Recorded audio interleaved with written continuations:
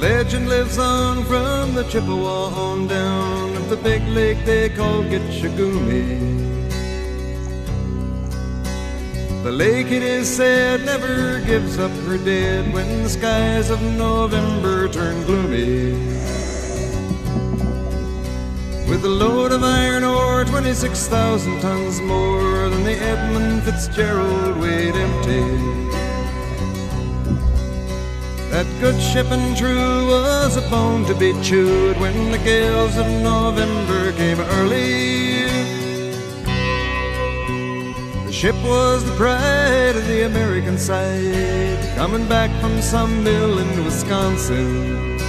As the big freighters go, it was bigger than most, with a crew and good captain well seasoned. Concluding some terms with a couple of steel firms when they left fully loaded for Cleveland. Then later that night, when the ship's bell rang, could it be the north wind they'd been feeling?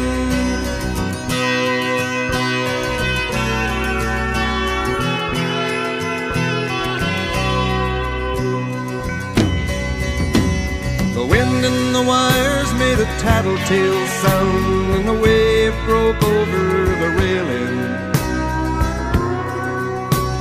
And every man knew, as the captain did too, 'twas the witch of November come stealing. The dawn came late and the breakfast had to wait when the gales of November came slashing. When afternoon came, it was freezing rain in the face of a hurricane west wind.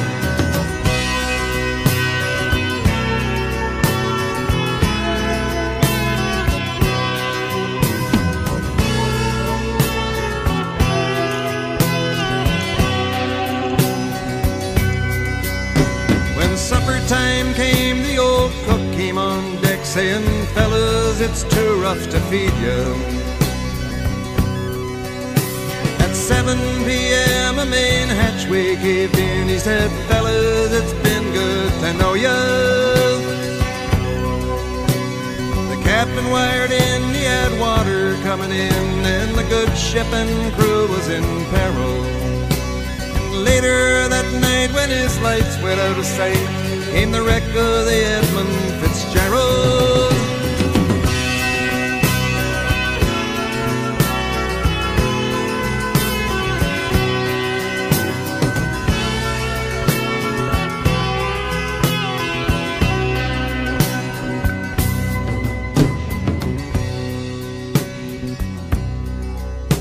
Does anyone know where the love of God goes when the waves turn the minutes to hours? The searchers all say they'd have made Whitefish Bay if they'd put 15 more miles behind her. They might have split up or they might have capsized. They may have broke deep and took water. And all that the faces and the names of the wives and the sons and the daughters.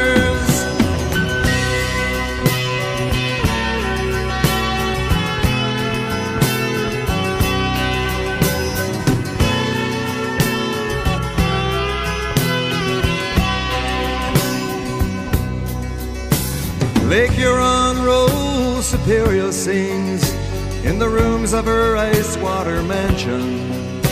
Old Michigan steams like a young man's dreams. The islands and bays are for sportsmen.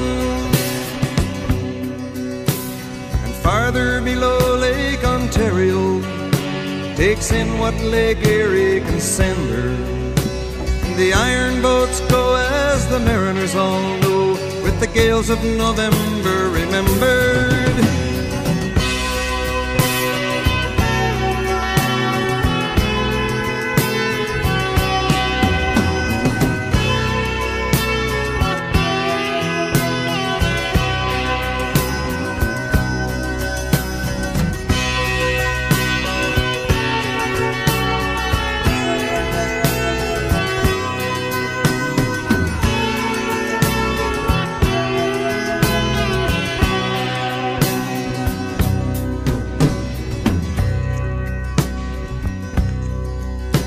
In a musty old hall in Detroit, they prayed in the Maritime Sailors Cathedral. The church bell chimed till it rang 29 times for each man on the Edmund Fitzgerald. The legend lives on from the Chippewa down of the big lake they call Gitche Gumee. Superior, they said, never gives up her dead when the gales of November come early